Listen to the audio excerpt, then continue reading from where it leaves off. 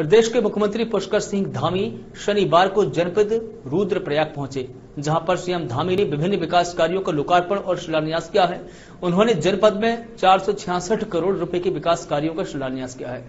इस दौरान सीएम धामी ने अपने संबोधन में कहा कि प्रदेश को देश का अग्रणी राज्य बनाने के लिए सरकार दृढ़ संकल्पित है। केंद्र और राज्य सरकार द्वारा हर वर्ग के लिए अनेक योजनाएँ संचालित की जा रही है।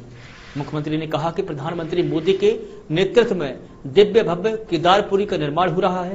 प्रधानमंत्री का उत्तराखंड राज्य से बड़ा आत्मीय रिश्ता है और जितनी तत्परता उन्होंने हमारे राज्य के विकास को लेकर दिखाई है, उतनी कभी किसी और प्रधानमंत्री ने नहीं दिखाई है। उन्होंने कहा कि सरकार का लक्ष्य राज्य की स्थापना की रजत जयंती तक उत्तराखंड को उत्कृष्ट राज्य बनाना है।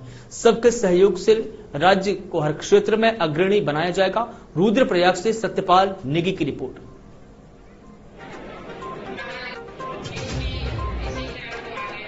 विधानसभाओं में मिलाकर साढ़े चार सौ करोड़ से भी ज़्यादा योजनाओं का यहाँ पर आज हमने लोकार्पण और शिलान्यास किया है सभी योजनाएँ जिनका लोकार्पण किया है वो जनता को समर्पित होंगी जनता के लिए उपयोगी होंगी इसके साथ साथ जिन योजनाओं का हमने शिलान्यास किया है उन सभी योजनाओं को तय समय सीमा पर उनको पूरा किया जाएगा जनता का पूरी तरह से ख्याल रखा जाए इस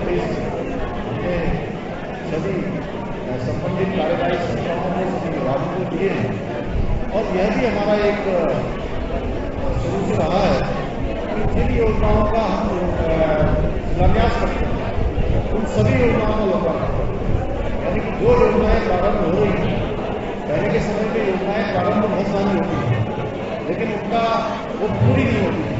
अब हमने तय किया है जो योजनाएँ शुरू होंगी वो पूरी